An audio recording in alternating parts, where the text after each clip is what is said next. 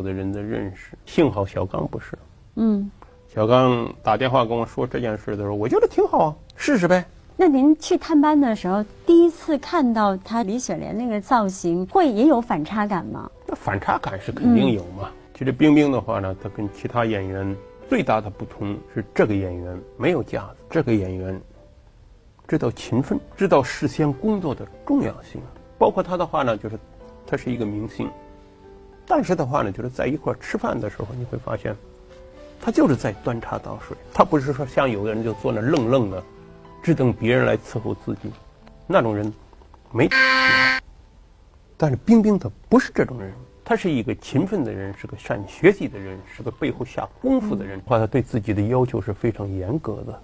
嗯，就别人讲的话呢，就是有的演员，就是拍摄的话呢，就是他到现场会很晚，甚至卡着点去。